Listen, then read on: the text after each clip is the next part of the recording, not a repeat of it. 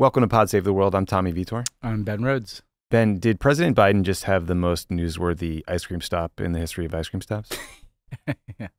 Um, yes, I can't. I can't quite remember one quite like that. I was. Uh, I DM'd Seth Meyers. I was like, uh, "Way to stick it to the White House press corps." You're like, you know, I'm going to interview this guy. I was and thinking that. I was, I, I was thinking that, like you don't usually think you're gonna make massive news No. on a uh, on a late night show, and certainly not a late night show OTR. But uh, Yeah. I guess he did. He's sitting there like, "What?" I thought we were just like. I don't think around. Seth. I don't think he expected to get that answer. No. know? Uh, No, I don't think he did either. yeah. But it was a really interesting interview, and I, I was, you know, he pressed him hard on like well, it's, age and on Gaza and a bunch of like, No, you he's know, he's challenging topics. he's as thoughtful uh, at late night guys. There is no offense to the other late night guys, but the the uh, and they're all guys, right? Uh, I mean, that's one of the issues. Uh, but the the um the other funny thing, Tommy, is we've all been there where, you know, if you're a staffer and you mention something to the principal, and then you're surprised, like. Because what Biden said was, well, my national security advisor. It, it, it sounded like he had just talked to like Jake Sullivan, and so it's yeah. like, well, my national security advisor just told me that there's a ceasefire. It's Yeah. like, Jake's pricing there like, uh, oh God, please, yeah, please. yeah. We'll- we'll get into- there be one.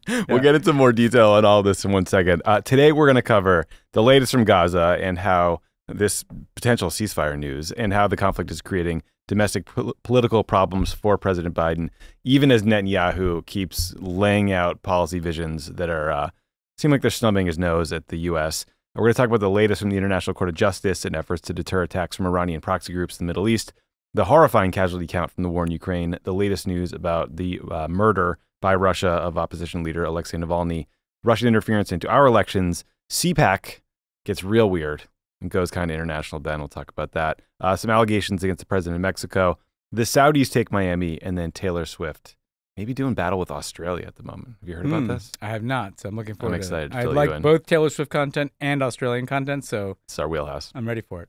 And then Ben, you just did our interview. What are we going to hear? So we haven't checked in on the situation in Myanmar in a while, um, where it's been pretty astonishing. The opposition forces, this kind of patchwork of different groups fighting against the military junta that uh, came to full power in a coup in 2021.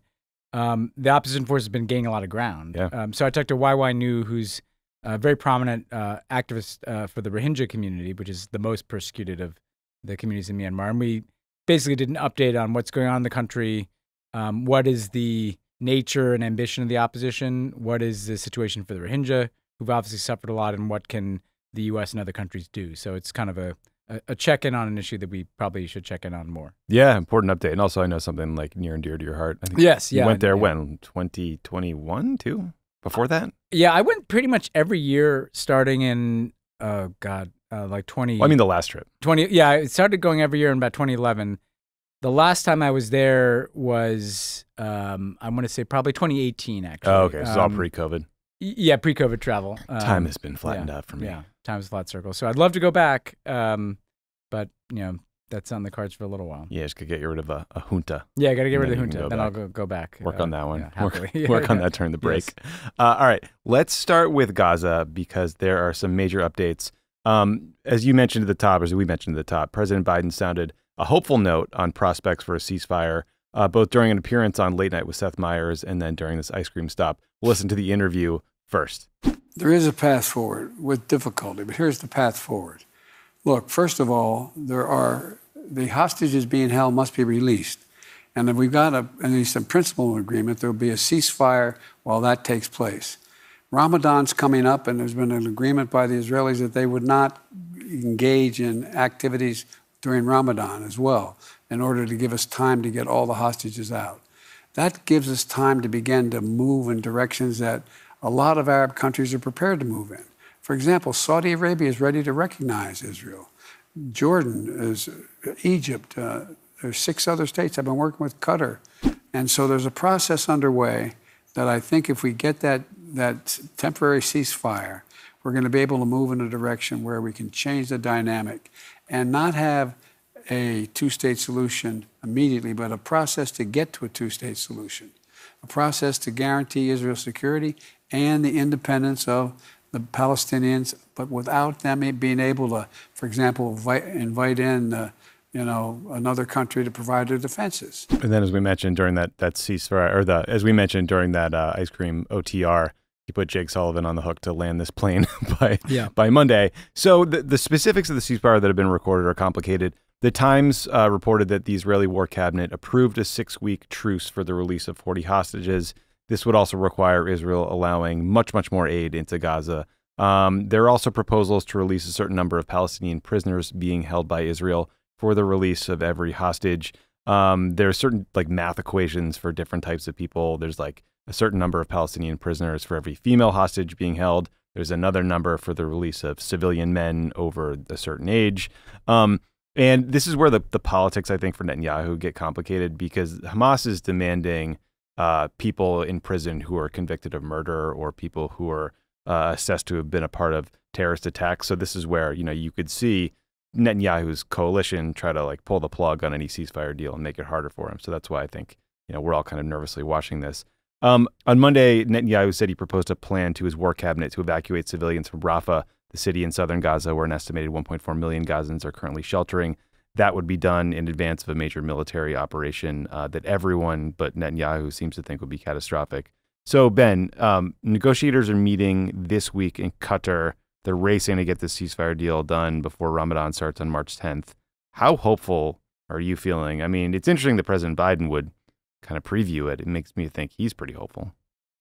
I think so. Um, and, and look, I, I do think that it's not the main point here, but probably don't do this with the ice cream cone, um, given you know uh, It's a good the note. gravity of the circumstances.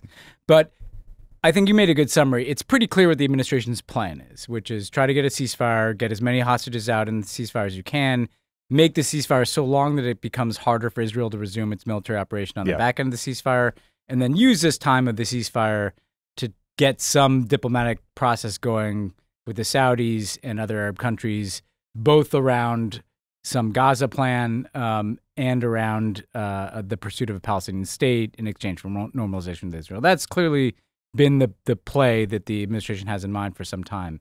Um, I, I was a little struck by the optimism. I mean, if they land that plane, you know, that would be um, significant progress from where we are. There's no question about that. Um, from the Israeli side, like you said, I'm sure there are elements of the right wing coalition that Netanyahu has that don't want to release Palestinian prisoners, that don't want to let in a lot of aid, that don't want to, to not go into Rafah. Um, and so there's a Israel piece of this that remains in question. Then on the Hamas side, and you know Hamas has actually kind of poured some cold water on this, and they may be trying to leverage uh, the negotiation to get out as many prisoners as they can. So we'll see if Hamas is truly committed to it. I wonder about this Arab piece um, because I, I just, you know, the the two things that I I I'd raise are first of all, who's in Gaza? Like, you know, I think that the the preferred option would be that there's some Arab kind of peacekeeping force that is helping to secure Gaza while reconstruction proceeds. Mhm. And yet Israel's not agreed to that at all. Israel's kind of suggested that they want to have this kind of de facto control over Yeah. Gaza. And then also, I- do wonder. I mean, obviously, we've seen with the Abraham Accords, uh, Gulf Arab states in particular be willing to take this step toward normalization. It, it strikes me as a pretty big risk for uh, new Arab states like Saudi Arabia to kind of normalize relations with Israel right in the wake of killing 30,000 Palestinians. I. Um, so I just, I don't know. I mean, if, if that all comes together, um, that would be quite, you know, remarkable. Um, it does feel like there's a lot of different pieces of this that have to fit in the puzzle board here at a time when the humanitarian circumstances in Gaza is as bad as it's ever been. Yeah, I mean, to that point, I mean, the Egyptians and the Jordanians have been airdropping aid. Yeah. Um, I saw that uh, UNRWA, the UN organization that's able to operate on the ground in Gaza, said the last time they were able to deliver food aid to northern Gaza was January 23rd, so over a month ago. So people in northern Gaza are just starving to death. In in in general, the uh, average number of trucks getting into Gaza is something like 50 to 60 trucks, not 200 like the Israelis promised. So it's way under. And UN officials are saying that these aid deliveries have been severely hampered because there were Israeli airstrikes on the police officers who are guarding these convoys. And now they're not operating and supporting these aid deliveries anymore. So the convoys are getting attacked by people who are desperate or criminal elements who are trying to like get the stuff and sell it. So it's an incredibly dire situation.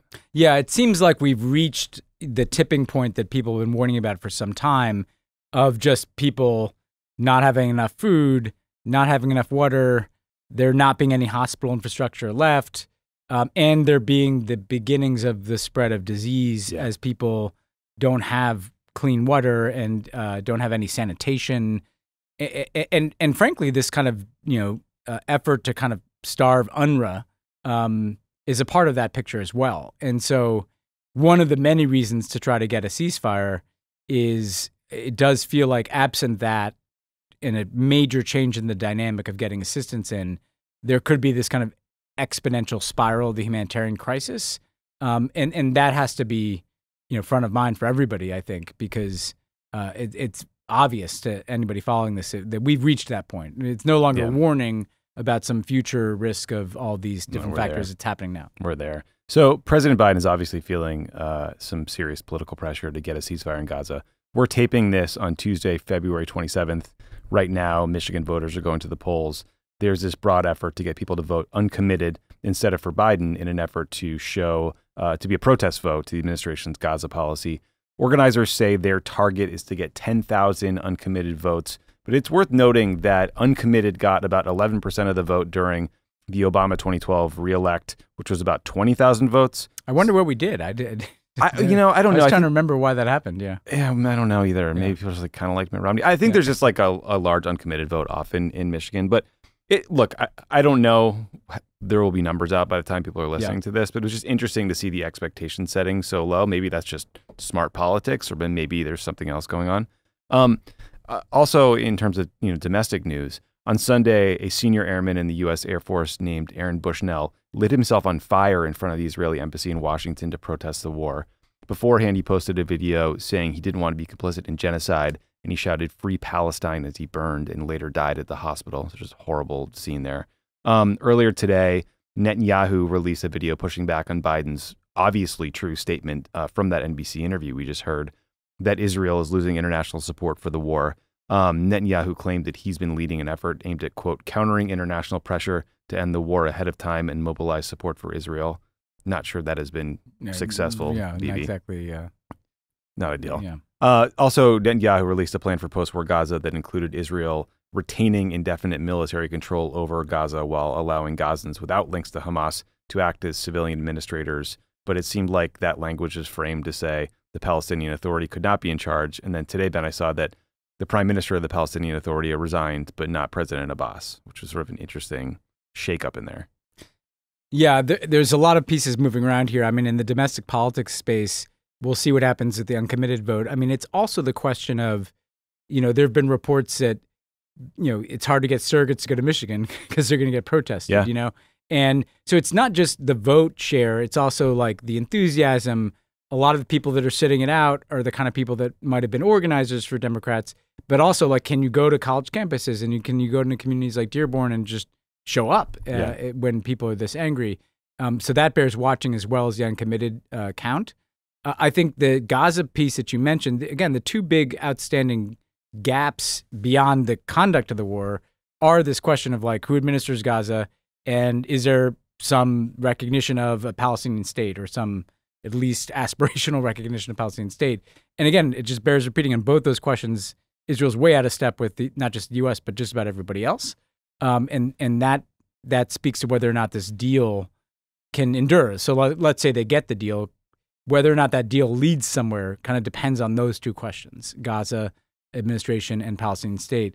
And the thing about the Palestinian Authority, it seems like you know the U.S. and other countries are probably pressing for some reform, and so you get some resignations and you get some Right. new technocrats in there or something. But it's got to be more than that. Um, you know, for the sake of the Palestinians, you know, the, the there has to be this kind of bottom up, you know, investment in uh, meaningful leadership that is close to the community. You know, the problem is not the caliber of the technocrat, although you know you can always try to tinker with that. It's about the legitimacy. Uh, uh, Is this kind of old man Mahmoud Abbas sitting in Ramallah and the people around him? Does he kind of connect down to civil society, to young people? It's a very young population. So I'd like to see that effort not just focus on like who are the ministers in the PA, but can you take resources and direct it to people that have real credibility in these communities? Yeah, and the PA is completely broke. And that's going to be an enormous challenge Yeah. for reconstruction. Also, I mean, Bibi Netanyahu's plan that he laid out for, for post war Gaza says that Israel is going to take control of a sliver of territory in Gaza along the border to provide as a buffer zone and prevent another October 7th. That is incredibly controversial.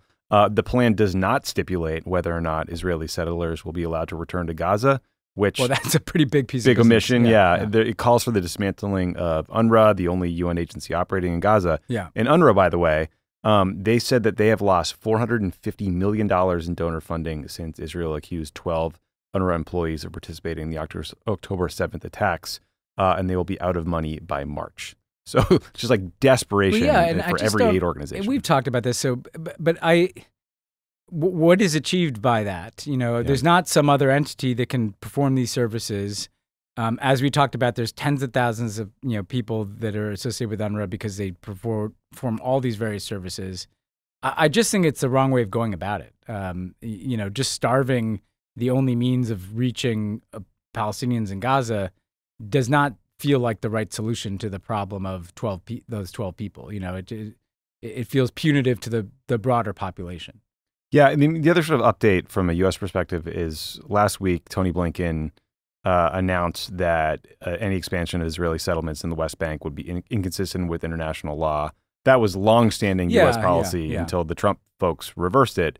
I think. I mean, I was glad to see Tony do it. I guess my kind of reaction was, I wonder why it took so long. Yeah, I actually, you know, I actually kind of got frustrated. I to to be reminded that that they hadn't done it yet, you know, because that was U.S. policy forever, you know, and uh, it it speaks to the kind of weird caution that they had on this issue out of the gate because it's not, it shouldn't be controversial that settlements are inconsistent with international law. They are, you know, it, yeah. it, it's not some big new finding by the United States. So uh, again, I'm glad they did it. Uh, I think what it speaks to is there's another pathway here um, where the U.S. You know, you also saw these sanctions on a few settler uh, leaders. I don't know why that shouldn't you know go up to people like Ben Gvir and these people in the government that are Senior literally yeah. saying crazy shit all the time about you know moving settlements and di- displacing people in Gaza, kind of wiping out the Palestinians, taking all the land. Like if that's not U.S. policy then again, there should be some consequences for the people that are really driving an extremist agenda.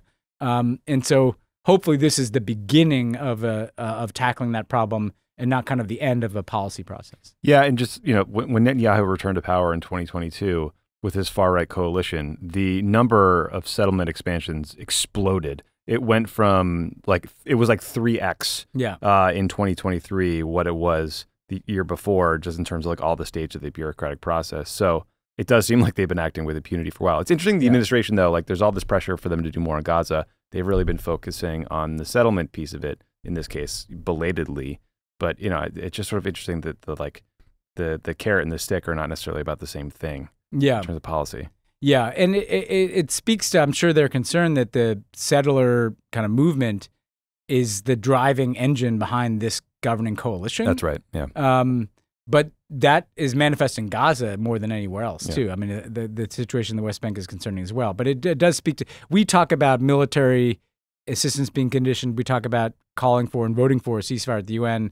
Another pathway of trying to affect this, you know, extremism on the far right of uh, Israeli politics is going more directly at the the agenda and, and the leadership of the settler movement in terms of sanctions and and uh, and calling out uh, the illegality of, of the enterprise. Yeah. I mean, speaking of international legal pressure, um, last month we spoke about the case at the International Court of Justice that had been brought by South Africa accusing Israel of committing genocide in Gaza.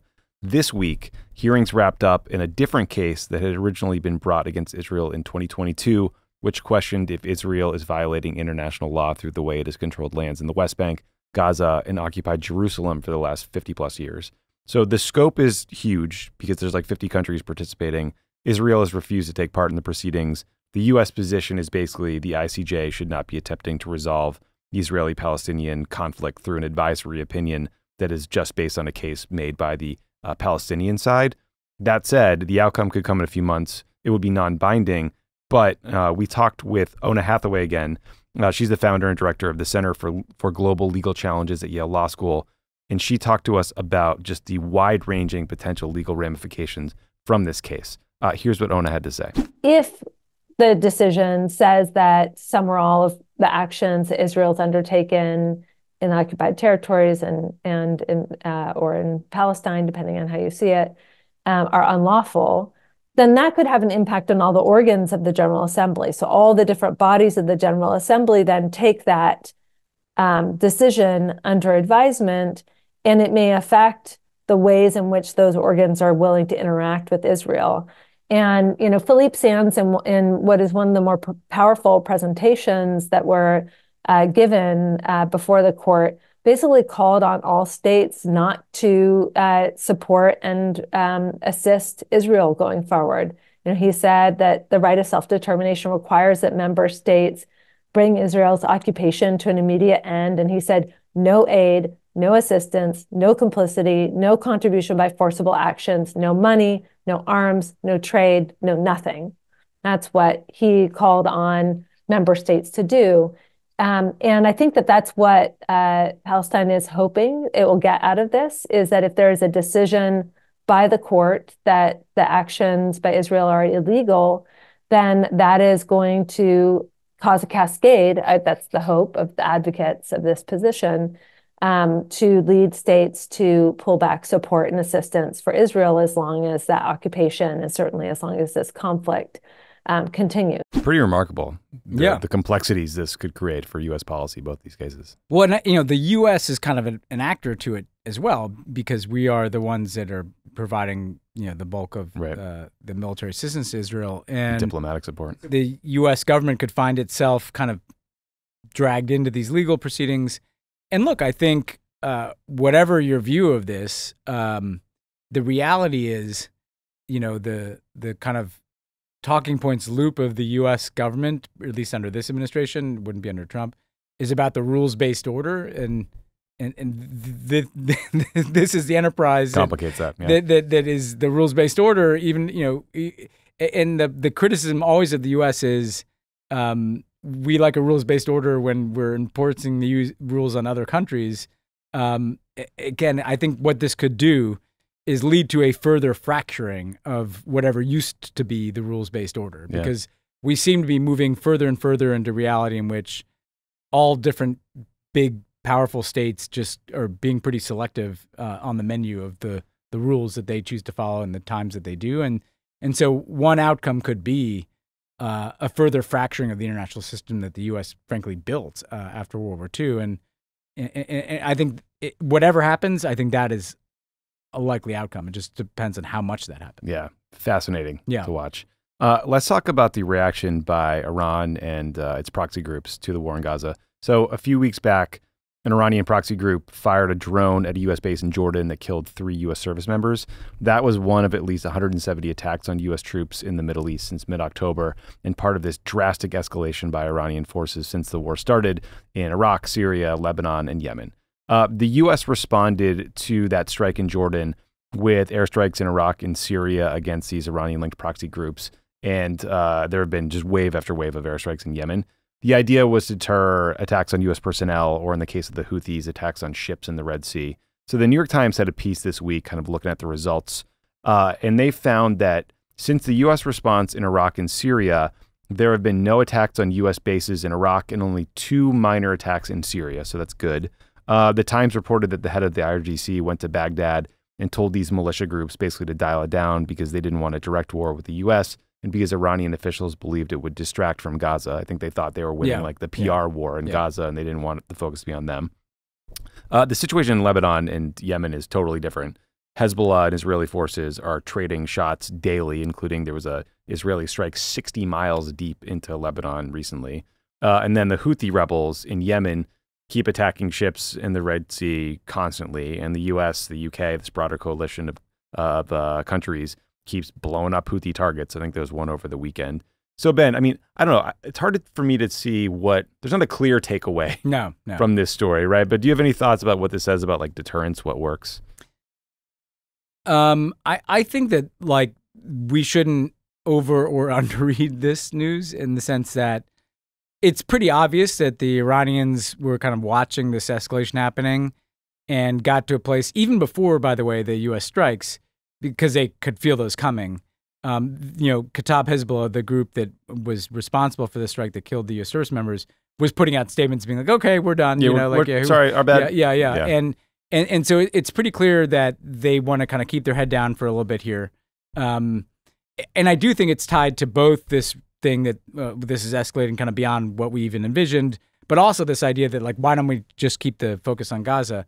But at the same time, I wouldn't overstate it either because there's been an ebb and flow to these things for years. True. You know, the groups aren't going away. Um, and yeah, the the bigger, more powerful ones, which are Lebanese Hezbollah and uh, the Houthis, they're kind of still at it at their own pace. And, um, and and so yeah, I think for the time being, like things have calmed a bit in this one area of Iraq and Syria, and that that's good.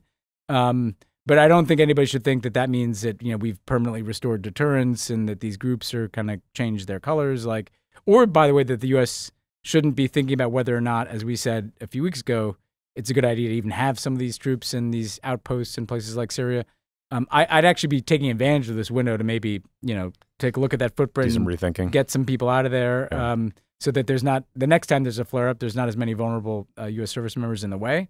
Um, but for the time being, uh, you know, it, it it feels like we're you know in a downward trajectory in this one area of Iraq and Syria, but less so in Yemen and and Lebanon. Yeah, I mean the, the Times analysis really ascribed a lot of it to to Qasem Soleimani, the former head of the IRGC, who Trump assassinated, kept a lot of these groups on a very tight leash. Yeah, The new guy apparently gave him a lot more room to run. more of a which- franchise model. yeah, Yeah, which caused some problems for them. But I, I'm I'm still with you that I think uh, solving the underlying problem in Gaza is the way to Yeah. manage this for good. But there was some more rare good news out of Iran, Ben. So there was a new report from the International Atomic uh, Energy Agency, or IAEA, that shows that Iran has been reducing its stockpile of nuclear weapons grade material. So the Wall Street Journal reported that for the first time since they started producing highly enriched uranium at 60% in 2021, Iran has started to reduce that stockpile by diluting it. Um, if that all sounds like technical jargon, that's okay. It is. Just know that we don't want Iran to have more highly enriched uranium because that's the stuff you use to make a bomb, and the more enriched it is, the more quickly you can do it. The new this news doesn't mean that their overall program is isn't expanding. It is, but it does seem like a sign of de-escalation to the U.S. and other Western countries who watch these things closely. Um, ben, reading these reports, it made my like NSC nerd spidey senses tingle a little bit and wonder if this was some sort of like confidence building effort as part of I don't know Yeah. secret talks we don't know about through Oman or something. I don't know. Is that too hopeful? Too no, nerdy? no. I, I think that look, the Iranians, like you said, they they ramped up their program. Congratulations, uh, Iran deal opponents. Mike Pompeo. They want to have the kind of capability, if they so choose, to to potentially break glass and maybe get enough material for weapon. They'd have to figure out how to weaponize it, you know. Um, but what I wonder, the the two things, you know, one is, are there back channel discussions, and is this some kind of signal of, you know, we're not looking for the nuclear crisis now, and maybe there's some diplomatic pathway somewhere with the U.S. towards some version of an Iran nuclear agreement that's probably not as ambitious as the last one, or you know, the the key partners for the Iranians are the Russians and the Chinese. Um, are they talking to the Russians and Chinese and saying, okay, let's not like introduce the nuclear piece to this now, like just you know dial it back a little bit, you know, keep the again keep the focus on Gaza. That's embarrassing the Americans. That's um, you know uh, obviously undermining Israel's standing in the world. You know that you know there's got to be some reason for it. Yeah. Um, and I have to think that it's some version of all three, right? Like not looking for the the war of the nuclear program at this point. Um, maybe some consultation with their kind of key partners, and yeah, maybe maybe um, some kind of back channel conversations that are just meant to signal a willingness to talk about this. Maybe they could do uh, get the negotiators some ice cream and like Muscat or you know I don't know where where else Switzerland somewhere I yeah. Zurich Uh, that feels like a good Geneva, Geneva, Vienna. You know, the last time it was Oman, Geneva, Vienna. yeah I went Uh, to the Iran deal talks in Geneva and it was this beautiful chalet on the lake and just a ton of people smoking cigs Yeah. didn't Lo- seem like a lot got a lot of smoking at these uh, diplomatic Just things. ripping yeah. butts. Uh, that that was not good for my health in the yeah White House. everywhere I looked I assumed like that plant would be like a CIA Yeah, listening yeah, tree yeah. probably oh yeah, you know, you'd be in one of those lobbies and you'd look around the lobby at these things and think that like what percentage of the people in this lobby are, are in some intelligence. 110%. Yeah, Yeah. yeah, It's like a dude with like a flower lapel pointing it at yeah, you. Exactly. Uh, A lot of listening. Uh, just don't think that your AirPods aren't connected to nine phones in that lobby. you Oh, know. oh, absolutely. So we talked a lot last week about the war in Ukraine in the run up to the two year anniversary. So we'll go a little shorter on that topic today. But a couple things we wanted to flag. Uh, first, Hungary officially approved Sweden's entry into NATO. That comes after the Swedish prime minister visited Hungary and announced that Sweden's going to provide Hungary with four Swedish made jets. So that's how deals get done, I guess, Ben. uh, but this, along with uh, Finland's entry into NATO last spring, means that the NATO presence in the North Sea around the Baltics will be a hell of a lot stronger, which Putin will hate.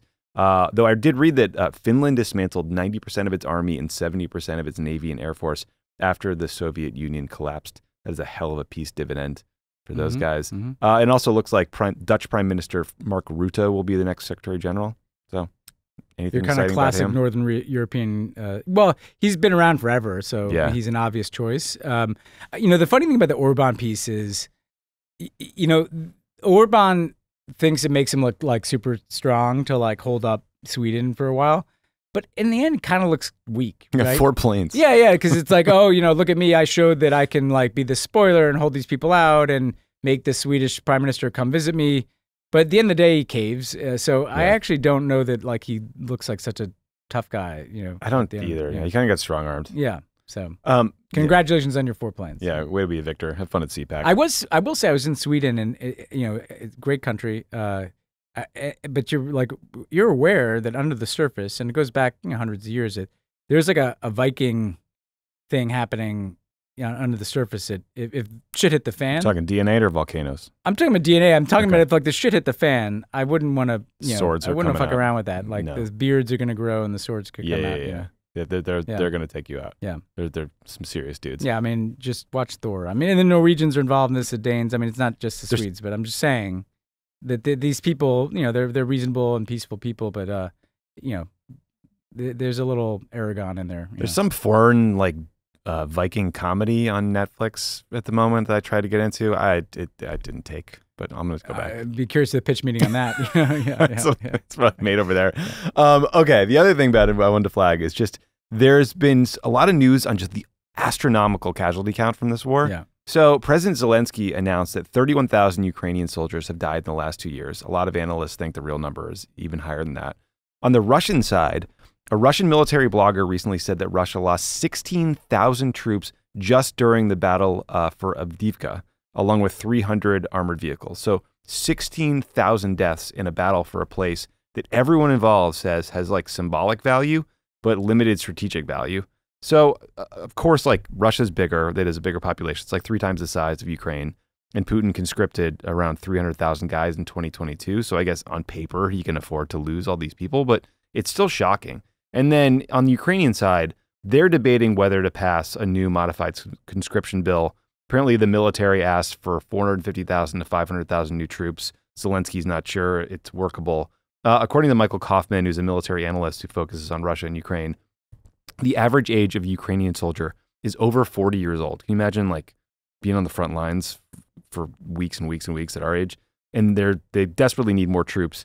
Um, Zelensky is worried about calling up these young guys because of what it would do to the economy, what losing that generation would mean for Ukraine's future as a state, and the uncertainty of whether the U.S. is going to be around to actually train and assist these guys. So I just wanted to flag that, Ben, because like obviously the human death toll is so awful, but also to make the point that one, I mean, again, like even Ukraine's ability to call up more troops is dependent on this U.S. fight in Congress. And two, when you hear about the status quo as is, it's just it's not a recipe for a stalemate in the long run. It's it's it's a setup where Ukraine is going to lose the war absent more support and like some serious internal changes as well. Yeah, and I mean, on the Ukrainian side, they've had this kind of theory of you know fighting for every inch of territory and and bleeding the Russians, but the reality is, I don't know that they can continue to fight the war that way. They just don't have as many people. Even if the casualty count is higher on the Russian side, that's not how wars are won or lost. And and so I think they're going to have to be more selective about how and where they go on the offense and and the nature of the defense that they use because uh, you know there's just more Russians and and there's a willingness from Putin I think to do whatever he needs to do from a conscription basis and given his kind of total dictatorial control he doesn't have to worry about fractures in the society in the same way. Now on the Russian side, I I don't think he has to worry in the near term about like sustaining the war effort.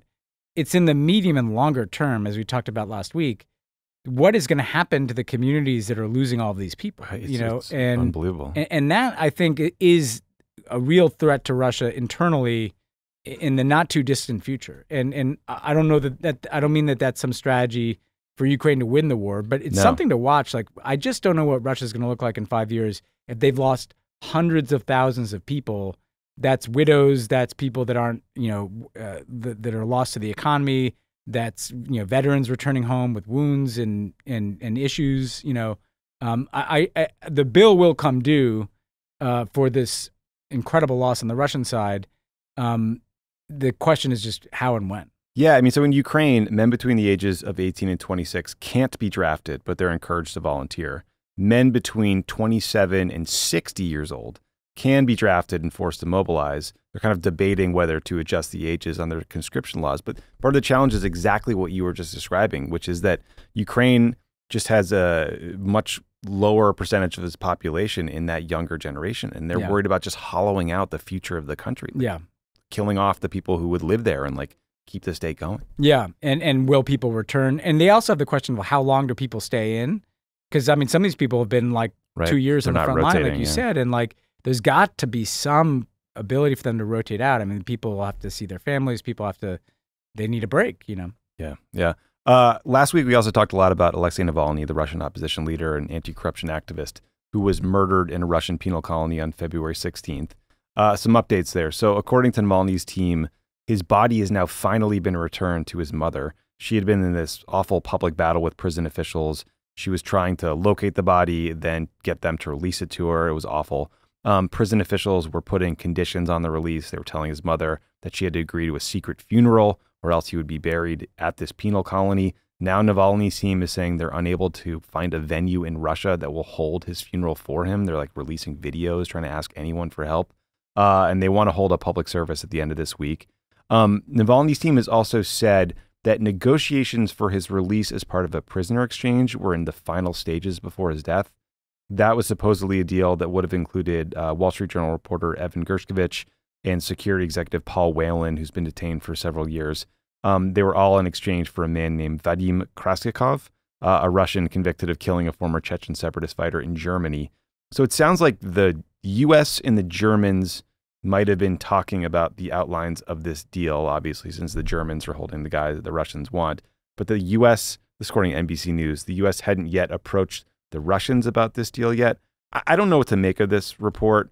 Um, I'm skeptical that Yeah. Putin would release Navalny. Yeah. And I'm also skeptical that he would kill Navalny to scuttle a deal that he would have had to approve anyway. But I don't know. What do you make of all this? I, I don't. I just don't think that that was going to happen. I mean, I don't think Putin would.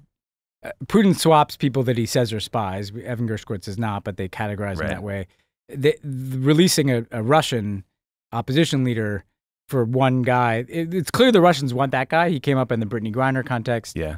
but I, I I just think that, that that's highly unlikely. I will say, like when you watch this stuff about the body and you watch this absurdity of them saying that Navalny died of natural causes and them not wanting to have a public funeral, um, again, like for a guy who's supposed to be in such control here, what is he so scared of? You know, I mean, it does. It, it, it, there's a So paranoia. There's a pettiness, but also a paranoia, like that that they clearly feel like they have to keep the lid on so tight it might be because they sense that if you allow the lid to peek up an inch, like it could explode. And and and so I think in death, Navalny is once again illustrating the kind of weakness of Putin in a lot of ways. Uh, I don't want to overstate that. You know, Putin's in control, but it is the case that like if you can't even allow for there to be a funeral for somebody um, because you're so afraid of what that would be like, um, maybe you're not as firmly in control as you're projecting to the rest of the world into Tucker Carlson and the Moscow metro. Yeah. Yeah. Yeah. It does seem so petty and so small. And right. And we talked last week about how they were, you know, security officials were beating up people, just like Yeah. putting down flowers at memorials and things. You know, it's just brutality. Um, speaking of Russia, Ben, so it's uh, election season's coming up. You got artificial intelligence making it easier than ever to make fake images and audio and videos. And then NBC. 's, You uh, make good ones. Huh? Thank I've- you. I've heard them. Yeah. I did not make the Biden robocall, but I wish I had. Mine would have been funnier. yeah. Um, NBC News had a story on Monday. The headline was Russia's 2024 election interference has already begun. That is mostly about Russia using these fake online accounts and bot networks to spread disinformation or just real negative stories. about Biden or Democrats or anyone who wants to support Ukraine or NATO. Uh, the Russians are doing similar things in Europe ahead of the European parliamentary elections in June. But Ben, it gets even weirder in the U.S., where we recently learned that the key Republican witness in their farce of an impeachment effort against President Biden has ties to Russian intelligence. Uh, here's a clip from Congressman Jamie Raskin. Now we know that Russian intelligence operatives were behind creating the propaganda and disinformation at the very foundation of this investigation. So I think it's time for uh, Chairman Comer and the Republicans to fold up the circus tent and we should get back to work for the American people. Certainly, it was a, shattering revelation yesterday when we learned that Smirnov was collecting his information from Russian intelligence operatives that were at the very base of this whole investigation. Uh, yesterday's revelations demonstrate that Putin's pattern of interference and destabilization of uh, foreign democratic elections around the world, including in America, has continued to this very day. Um, and this impeachment investigation is nothing but a wild goose chase that is based on Russian disinformation and propaganda. Just a little background. So, there's a guy named Alexander Smirnov. He was a trusted FBI informant who'd been paid by the U.S. government for information about like oligarchs, officials, whatever. Uh, in June of 2020, so in the middle of the last presidential election, Smirnov told the FBI that the owner of Burisma, the big Ukrainian energy company that's been swirling around all the stories about Hunter Biden, had paid Joe Biden and Hunter Biden $5 million each to stop an investigation into Burisma or to have Joe Biden do it when he was vice president. Uh, the FBI has now indicted Smirnov for lying because those allegations were made up. It was very easy to call him on this lie. Smirnov said he met with Burisma officials in 2015 and 2016, but the FBI knew he met them for the first time in 2017. There were lies about where he traveled. And prosecutors also said that the information Smirnov shared about the Bidens came from officials associated with Russian intelligence. So Smirnov's allegations, like they quickly leaked to the right wing press and to Republicans. Uh, so the House Republicans doing the impeachment, they demanded these like FBI documents about you know what he had told them. They then went public with them. Now they look like fucking morons because this guy was clearly a, a Russian intel op. Ben, even describing all of that to you is exhausting and makes me uh, have 2017 PTSD. But it's obviously also like a huge deal that these guys are Yeah. already trying to Yeah. mess with our elections, or I guess and got all the way into an impeachment. the impeachment. 2020 Yeah, election. Yeah, got to an impeachment. Yeah. Wh- how do you combat this stuff when you have a Republican Party that would clearly rather destroy Joe Biden, Joe Biden than guard against it? Well, I think I don't know. I mean, Right answer. There's these different categories, right? Because first of all, in the in information space, it's just a cesspool, and and what people have to recognize is that the Russians don't create the origin of a lot of these conspiracy theories. But they, see what's happening in our weird right wing fever dream ecosystem, and they come in and basically just pour gasoline on it and try to turbocharge conspiracy theories and anti-Biden content. And they'll be doing that, and they'll be doing a lot of that. And AI, like you said, makes it easier for them to do that. I mean, there's some efforts that uh, are underway to at least try to label the AI, watermark you know, it, yeah. watermark it. So, in this came up in I was in Munich in part, uh, you know, to be in some of these conversations, um, because you know, at a minimum, you know, people should know. I, I mean, the the sad thing for me is that Twitter actually last time was labeling state-sponsored content. You know, Mhm. now it's like a cesspool of Elon It's Musk. the worst. But but so one thing on the on the information space is you'd like to at least be able to empower people with the information about where this is coming from. I do worry this time about whether the Russians, given the stakes are very high for them, what do they do around the election itself? You know, is there much more dis and misinformation about you know voting or their efforts to kind of interfere with the voting process itself? So you have to kind of watch that space. And then on this stuff, I mean, I don't know, Tommy. Like the the thing that is really frustrating and and probably obvious is that there's such an over the top effort by Trump and his allies to kind of make all the Russia stuff feel like it was over torqued Yep. and it was a hoax and that people, eh, you know, and I've I'll- even internalized it. I've been well, and look again. I, I hate to like call out trolling, but like you know, Glenn Greenwald's been like after me for years because I said something about the uh, the laptop being part of a Russian disinformation campaign, which you know. Some of it was, you know, like like uh, this guy was a part of, you know, there, there are these there's this policing of the the center left and left on this stuff that if you like if you get like anything is overcranked at all, you're cast as like a lunatic and yet actually the underlying truth is still there. Like there are Yeah. Russian agents spreading disinformation to the point that they're literally the basis of impeachment of the president of the United Yeah. States. And so Pretty goddamn effective. I just think that we need to not be that, you know, self-constrained. Sure, we need to be careful and not make statements that we don't know, have information about um, or don't have credible information about. But like, don't let them work the refs so hard that we're not at least calling out, like, "Hey, this is what's happening." You know?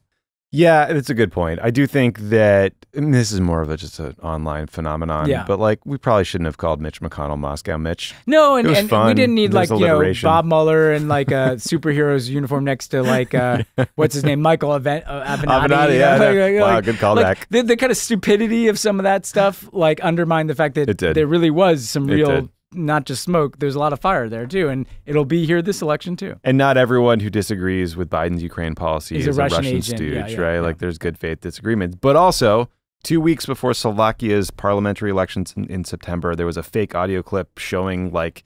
You know that purported to show a pro-Western party was trying to rig the election. It was all made up and bullshit. But like that's going to happen. us. And guess what? Like the pro-Russian uh, autocrat won the Slovakian election. I mean, so this stuff is real and has a real impact. And the the only antibodies we can think of is just trying to empower people with as much information as you can, knowing that even that is going to be out in this crazy space where there's no objective reality. Yeah.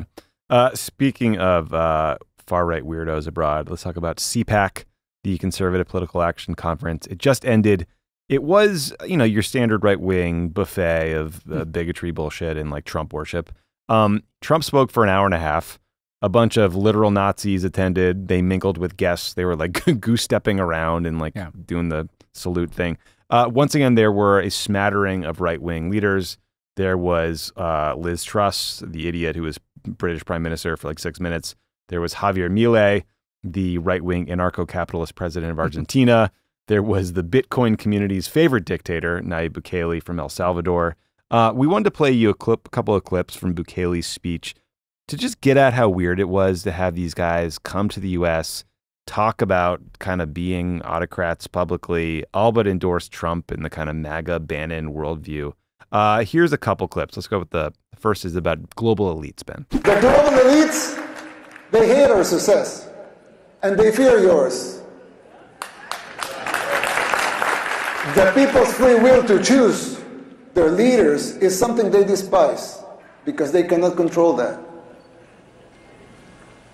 You have experienced this firsthand here in the United States. The global elites control the mainstream media, they finance campaigns, district attorneys, to mention a few. They abuse their powers. They persecute political opponents. In El Salvador, we don't weaponize our judicial system to persecute our poli- political opponents. A practice that may sound familiar to you, but we don't do that there. And who's the dictator? That's a little joke. Who's the dictator? I mean, how weird is it here? Like an us versus them with a, a president of a foreign country versus Yeah. like democracy or Democrats? I guess you know. First of all, what it does kind of demonstrate, though, is that there, and this is another we, you know, poking a little uh, at the resistance that you know we were part of. Um, I, think there was this effort to kind of cast Trump as this buffoon, you know, who kind of uh, was dangerous, but you know, uh, a bit of an outlier to anything we'd seen in America. No, th- this is like there's a real ideology behind it that like Bukele and Milei, these guys, like the fact that it travels around to such different places. You know, Trump is as much a reflection of something happening in the world as he is somebody driving it. I mean, there's just this kind of anti-globalist, anti-elites, uh, autocratic populism that that travels and that has like a potency to it that that needs to be taken seriously, even if it's totally hypocritical, right? I mean, Bukele, like Trump, is projecting. He does all those things. He persecutes opponents. He's got people in prison. So I'm not suggesting it's true. I'm March just troops into parliament. yeah, the vote. yeah. I mean, this guy's like, yeah. So like, it, it, but it like, let's you know, this is going to be around for a while, and and actually, that's my second point, which is that we we don't do this. Why don't we do this? Why why don't I'm not saying we have a CPAC that's as crazy, but like, there's this reticence to kind of you know align with political parties and movements around the world, like. the, the I'd like there to be some gathering of. I mean, I've been to some of them, but they're like much more muted than this. I mean, I, I Well, my, the U.S. president probably doesn't speak at them, right? Like Yeah. Trump stamping like his reputation imprimatur on this thing, getting a lot of eyeballs there, like that makes a difference. Yeah, my point is that the, the. Democratic Party in this country needs to feel more invested in the success of Yeah.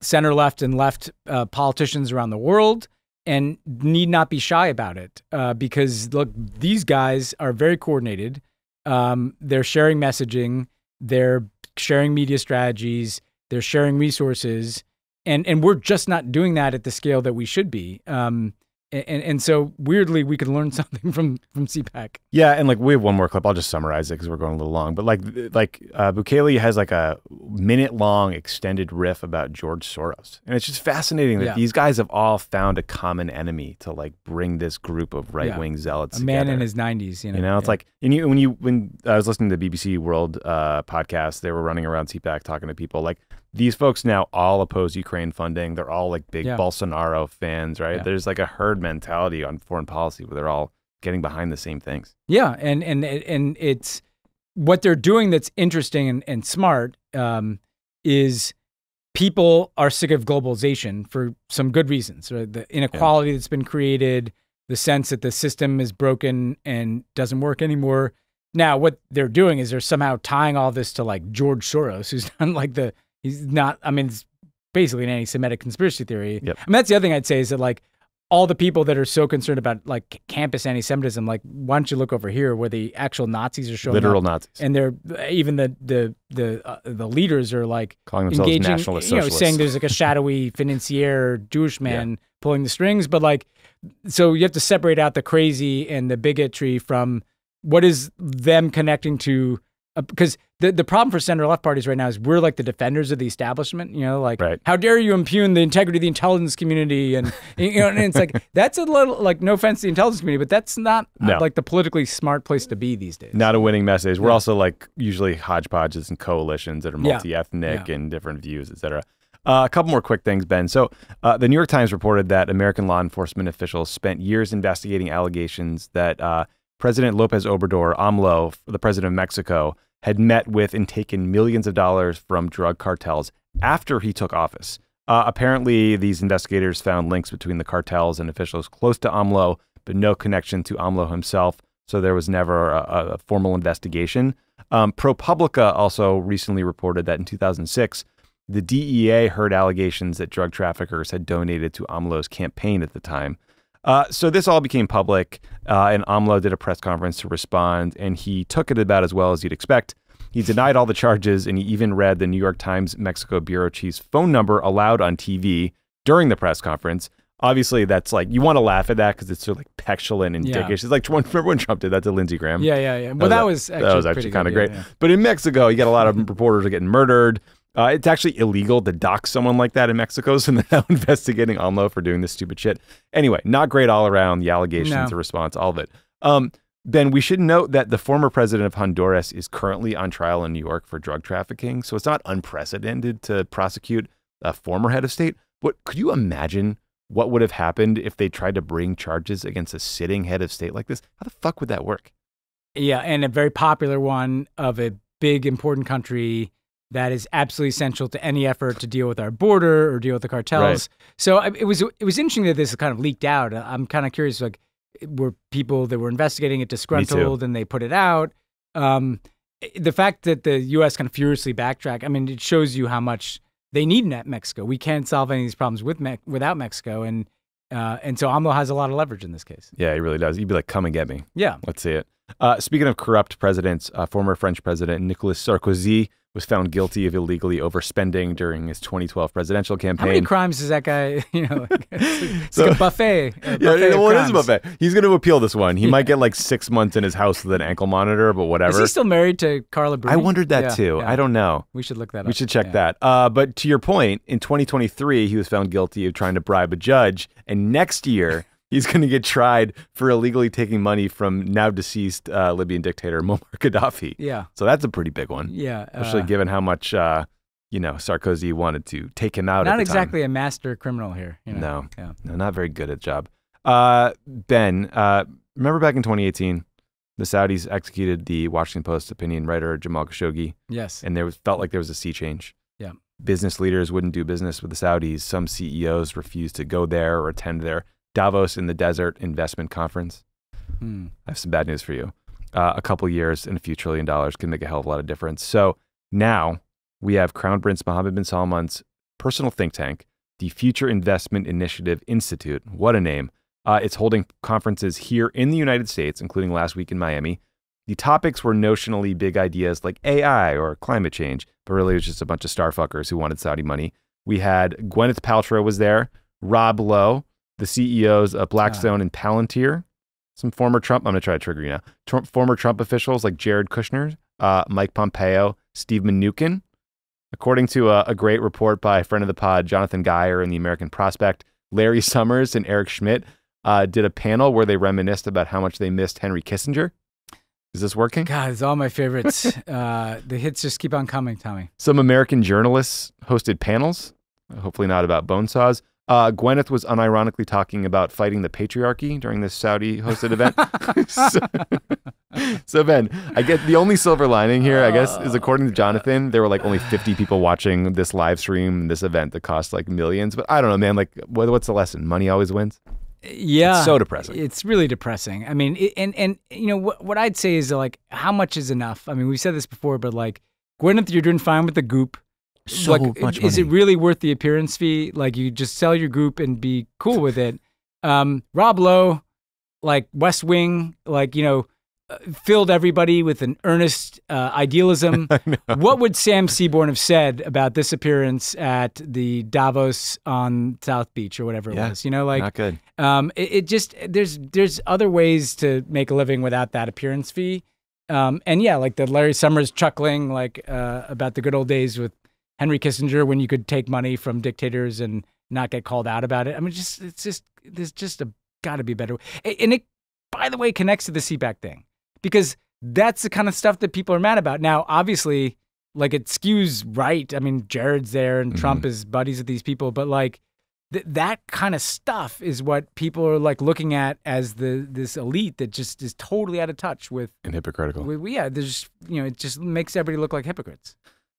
It's so maddening. Yeah, It's so maddening, and they're doing it in the U.S. The, it- under the guise of these these think tanks, and you know, the Saudi sovereign wealth fund is buying teams, you know, and they're pretending that it's not Mohammed bin Salman pulling the trigger. It's like, Yeah, ah, of yeah. course he is. Yeah, of course yeah. he's behind all of this. It's just Yep. the worst. He wins, we lose. Uh, finally, yeah, that's a, the life lesson yeah, here. that's a life lesson. Finally, Ben, uh, listeners to the show know that we're big fans of Australia, uh, and we're very grateful to the Aussies in particular for filling the back half of this show, this portion of the Yeah, show, yeah. with lots of fun stories.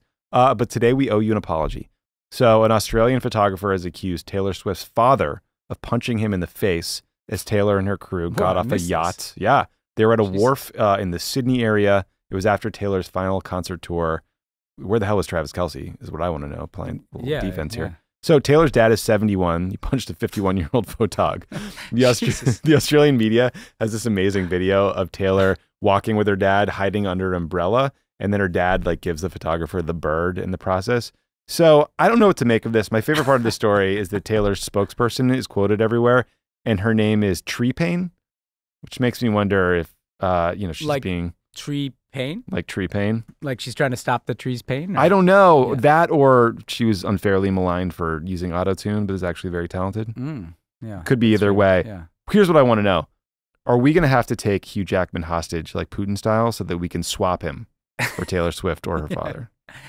I, or is there like a legal proceeding though? I mean, like I, Uh, I can't imagine it's legal to just wind up and clock a photographer. Well, it's right? Australia. Um, yeah, actually, that's true. Maybe this, that's like- all part of the, the The maybe charm. uh, like I, maybe that's the way to look at this whole incident. It's like this is you go over there, you get you get in a fist fight uh, after the yacht comes in, and everybody like talks about it for a while, and then you know moves on. I mean, Yeah, uh, I don't know what to make of it, it. feels a little aggressive uh, for, for the the Taylor Swift dads. Uh, yeah, like I mean, where's Jason Kelce with his shirt off? you I don't like, uh, know. just kind of They- taking up a lot of space so you can't get a picture. They could have beaten up everybody. I don't know. We'll see what happens. I do. I have been listening to um, uh, Colin Hay from Men at Work's solo stuff a lot recently. Mm. Truly great. The guy is I didn't know that there was solo stuff. I, I he's well. Some of them are like Men at Work songs that he just does like acoustic in places. well, I'd listen to that. I mean, Excellent. yeah, that is excellent. excellent, Yeah. excellent. Thank you TikTok for injecting. that Maybe what the solution is is that Taylor lets him be the opening act at the Taylor next and Colin Hay. Yeah, Who's the headliner? Hay, uh, well, you know, it depends on what demographic. Depends on where you Yeah, are. Yeah, yeah. Yeah, if you're in. Sydney, maybe it's Colin. If Yeah. you, well, that's probably Taylor anyway. It's by Taylor anyway. Okay, well, good luck with that, Australia. Uh, we hope you sort it out. We're going to take a quick break and we come back. You will hear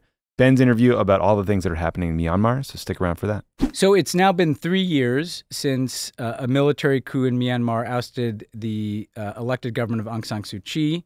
Um, that followed, uh, of course, uh, like a brutal period of ethnic cleansing of uh, the Rohingya, uh, during which Aung San Suu Kyi was silent. Um, and since the coup, uh, we've seen a bloody civil war that the UN estimates has led to the displacement of two, 2.6 million uh, further people. Um, but interestingly, in recent months, things have been shifting against the military junta inside of the country. So, joining me to talk about the latest developments and, and where this is all leading um, is uh, a, a terrific uh, activist and advocate, uh, Wai Wai Nu, uh, who is a human rights activist from Myanmar and the director and founder of the Women's Peace Network. Uh, it's so good to see you again after a few years, Wai Wai. So good to see you too. Thank you for having me. So I- want to start with the situation just generally in Myanmar, um, and then we'll also uh, talk about uh, the situation for the Rohingya people. hmm Beginning in Myanmar, um, so it's been three years since the coup. Since then, I think uh, to a lot of analysts, uh, you know, opposition forces seem to have shown uh, a surprising strength in the, in the civil war. Uh, in recent weeks, there have been reports of thousands of young people trying to find a way out of the country to avoid a new conscription law that the military is trying to use to to regenerate manpower. Um, that conscription move follows gains made by various rebel groups across the country who've been uniting and taking territory. Um, the exiled government, the National Unity Government, that's the opposition force, uh, the kind of umbrella over the opposition, uh, now says that uh, some 60% of Myanmar's territory is under uh, the control of resistance forces. Um, so, just starting there, Wai Wai, based on your contacts and what you're following, um, what is your sense of the situation? It, is it is it the case that the junta is kind of losing control? Um, how do you assess what's happening in the country? Um, indeed, um, we have to acknowledge that junta, the junta was never able to control the country and consolidate its powers since the attempted coup in February 2021. Um, due to their popular resistance to it, now adding to this uh, collective military operations by the ethnic arms group, it's become even harder um, to retain control of the territory, which uh, we see they are losing by the day. And it also shows how the Myanmar military or junta is weaker than many thought. At the same time, we have also seen the junta uses every possible means to maintain the power, including commissions of serious international crimes, such as crimes against humanity, war crimes, through uh, their indiscriminate uses of forces, uh, shellings against the civilians and villages, widespread and systematic uh, uh, arrest, uh, detentions, killing, rapes, and so on. And um, now uh, the latest um, informations we are uh, documenting is that the junta actually arresting uh, young people on the street in the villages across the country.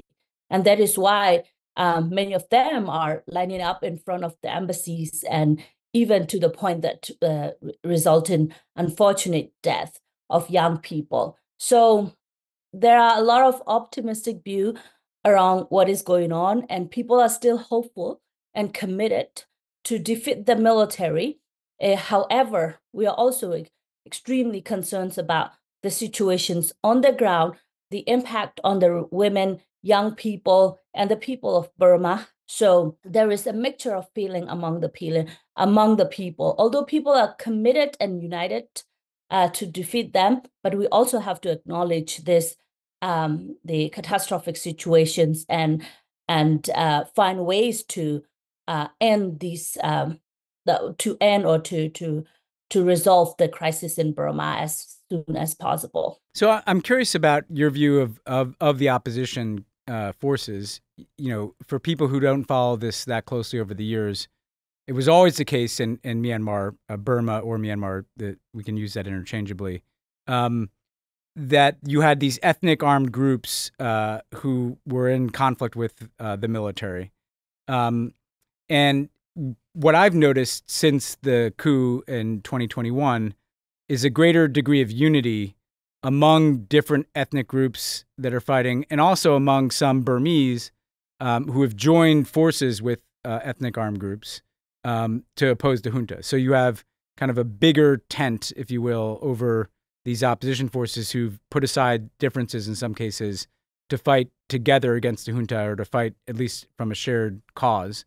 Um, what is your assessment? Uh, you know, how much is there a new sense of unity in forces opposing the junta? How much does the, the national unity government kind of reflect uh, those opposition forces? Um, and, and do you think that that can be sustained going forward? It is incredible that the, we achieve this level of unity and common understanding among the different um, ethnic groups and different political groups. Um, after this attempted coup in 2021, people across the country have uh, started to realize the military is common enemy and we must defeat the military basically we must be able to dismantle current current the military institutions which have been in control uh, full or uh, um, part in part for six seven decades and they are the main um, sources of many atrocities to the um, economic poverty, to the uh, uh, the situations in general in the country, the repressive uh, military institutions. So that's the common understanding. Then, uh, once we are able to dismantle the current mil military institution, then there will be a political negotiation and uh, it is already happening among the different uh, diverse uh, political actors and ethnic groups. And, and then we will have a security sector reform that will include the reformations of the military. At the same time, the current revolution, what we have also been witnessing is that the young people of Burma, especially the Burman young people, are not only talking about military dictatorship at this point, and reinstating or replacing a new form of government, but we are talking about um, the the eliminations or ending all form of dictatorships. So not just the military dictatorship. So it's the revolution we call it.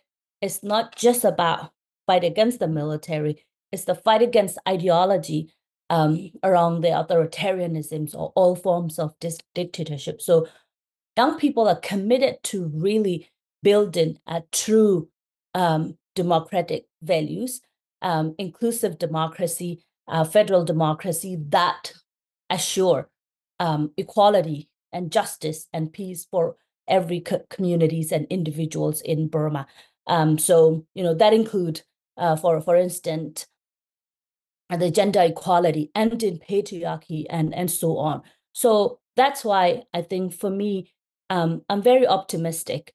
Um, in a way, how far we are able to come and how far we um, we can uh, uh, actually go uh, for the for the future of the country. It's not just about the political actors that are important in finding uh, solutions in Burma, but also young people, the younger uh, generations of this country who are committed to build a new future for all of us. Yeah, no, I mean, for people again who, who don't follow us closely, I mean, you're describing a much more radical um, and I think necessary transition to an inclusive society than the the past transition to democracy or partial democracy was essentially the military maintained a lot of power and made kind of a deal with Aung San Suu Kyi and her political party to relinquish some of that power, but it didn't kind of entrench this uh, military hold on a lot of the society and economy, or um, or the kind of Buddhist nationalism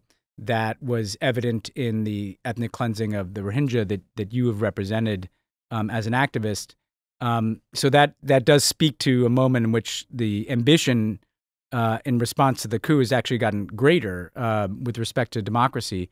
Uh, I'm interested in in the situation for the Rohingya. Um, uh, nobody suffered more uh, over the years in, in Myanmar than than your community. Um, first of all, uh, how do do you find that there's a greater um, inclusivity of Rohingya in this vision of a future of Myanmar, um, uh, and and how much of your community remains inside those borders versus how much is in Bangladesh and in other countries? Yeah, right now there are about six hundred thousand uh, Rohingya remain in uh, Myanmar, inside Myanmar, across different um, uh, cities in Rakhine states, uh, specifically. Uh, there are about 130,000 internally displaced Rohingya in Sittwe, Kyaukphyu, and a few other cities. And outside, um, in, in Bangladesh, there are approximately 1 million Rohingya in, living in mostly squalid refugee camps. And there are several hundred thousands in other, uh, other countries uh, like um, Saudi Arabia, Malaysia, uh, Indonesia, uh, India, Pakistan, um, and Thailand and other neighboring countries. People are risking their life and to take this um, very dangerous journey to to to find a safe haven. And uh, the UNHCR actually uh, said um, that in their report. 2023 was the deadliest year of the Rohingya sea crossing. So that's the situations on the ground. And now, uh, with everything happening, uh, besides the humanitarian crisis and catastrophe, in the political discussions and political uh, future, where's Rohingya lies? Yeah. Um, I do believe that um, the Rohingya, unless until unless we're able to secure equality and future for the Rohingya community in Burma, which is one of the most persecuted and the most, as you mentioned, uh, the community that suffered the most.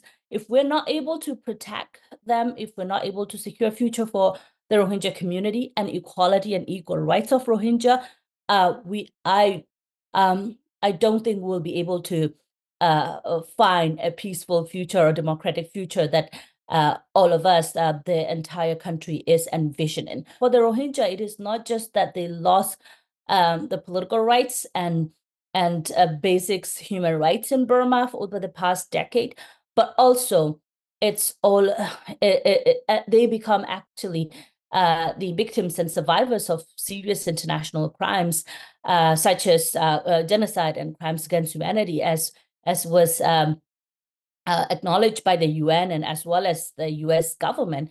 Um, so I think that when we find solution for the Rohingya, when we have political discussions around the Rohingya, it's not we have to figure out. To, we have to actually pursue two paths. One, uh, political dialogues and political dis- discussions. How do we integrate, reintegrate Rohingya into the Burmese society and assure equal rights, um, including the political rights, which we already had in the past. At the same time, how do we bring justice and accountability, and how do we uh, repair the harm that has been done to the Rohingya community. So, last question here. I mean, you paint a picture of, of both really dire circumstances for people and violence and atrocities being committed. Uh, and at the same time, there's some hope in the sense that you have this uh, unity among different forces and this progress that's been made in fighting back. Um, the last question I want to ask is what, what should external countries be doing? That uh, you know, the United States, obviously, what what policies would you like to see the United States pursue. Um, and I know also the the Southeast Asian countries, ASEAN, the bloc of Southeast Asian countries, is is a key actor. What would you like to see from foreign governments uh, that could help push this in the right direction? There are many many ways that the U.S. government and ASEAN, um, the country in the regions, can actually uh, support the Burma. Uh, one, um, the uh, neighboring countries uh, should basically uh, provide the people of Burma with more protections and more uh, sustainable path until we are able to go back to Burma. Um, the situations in Bangladesh is so dire. The the conditions in the camps become um, extremely concerning over the past several uh, uh, years.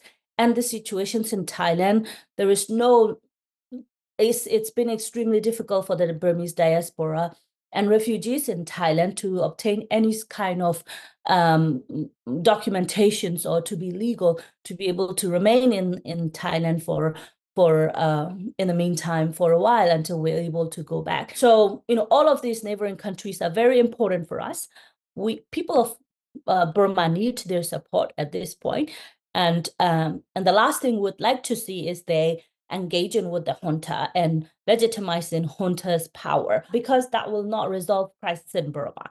Uh, that will only empower the junta and exacerbate and um, prolong the military dictatorship and prolong the humanitarian crisis. And what we want to see from the U.S. is U.S. working with this um, strategically important country for the for for Bur- people of Burma and um, listen to our demands there are so many of them, including now that the Thailand is trying to uh, do uh, the humanitarian corridor uh, through the Myanmar Red Cross, which is under control of military. We're saying that Thailand shouldn't do it because it is uh, the Myanmar Red Cross is controlled by the uh, under the um, the junta's authorities. Instead, Thailand should uh, work with the um, civil society and and stakeholders on the ground, including ethnic lead arms organizations and ethnic political organizations, to be able to provide um, the humanitarian assistance to uh, uh, people who need it. And when it's come to the uh, Rohingya refugees, and um, there hasn't been any, any, coordinated or collaborated effort to uh, provide protections yeah. to address the both crises and and and I think there should be a lot more could be done. The, the, the, a lot more could be done on in this regard. There should be um, a coordinated effort uh, to do search and rescue uh, missions uh, when when necessary, and to provide necessary uh, protections and and and and safety procedures to the refugees. And right now, I mean, U.S. have done actually a lot, and we acknowledge that. There has been a lot of sanctions in the past several years uh, since the coup. Uh, the um, and now that we're looking for a more uh, effective and coordinated actions, uh, sanctions around aviation fuel and supply chain area around the aviation fuel, as well as um, the um, helping the Rohingya. We want to see a UN Security Council resolutions under Chapter 7 which um, which is binding and enforceable, and uh, which include addressing uh, the justice and accountability, ending impunity, and prosecutions of the serious uh, crimes that military has committed. So, you know, there are the there are there are a lot of a lot of things that can be done, and we're uh, talking about it, engaging with the U.S. government, but we like to see a more rigorous and um, and and coordinated actions on Myanmar, as U.S. is very important country for us. Mm-hmm. Well, look that uh, that that's a great uh, update on on a lot of dimensions of this. Um, so we appreciate it. Uh, we'll be following this going forward, and uh, appreciate all of your activism on this uh, over the years. It's it's good to see you. Thank you, thank you. I hope this is helpful, and hope to see you again. Thanks again to Wai Wai Nu for joining the show. Thanks to Oona for talking with us again about the ICJ.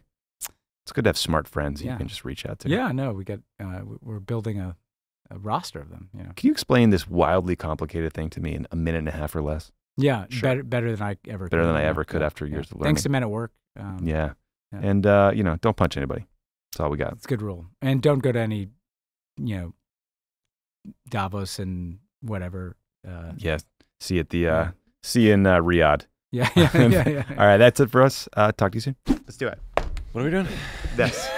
we know you may be feeling a little stressed about politics right now, so uh, we wanted to offer a practical, hopeful guide to make sure that you're ready for the 2024 election and the 2025 insurrection. That's why we wrote a book called Democracy or Else How to Save America in 10 Easy Steps. It's a helpful illustrated guide with 100% perfect jokes, but maybe reading isn't your thing. Maybe the lore of a reasonable page count loaded with illustrations isn't enough to move the needle. That's fine. That's right, we hunkered down for what was, let's be honest, a tedious eight hours we'll never get back to bring you Democracy or Else as an audiobook. Finally, your chance to listen to the three of us talk about politics. What a rare opportunity. Perfect for the avid listener who loves the pod, but just wishes it was much, much longer. And people who don't read, like me. Right. Yeah. Illiterate people. I like to listen to things. Functionally So- illiterate people. We're really selling it. So, boy, am I gonna Click. click hey, buy don't break your phones clicking purchase.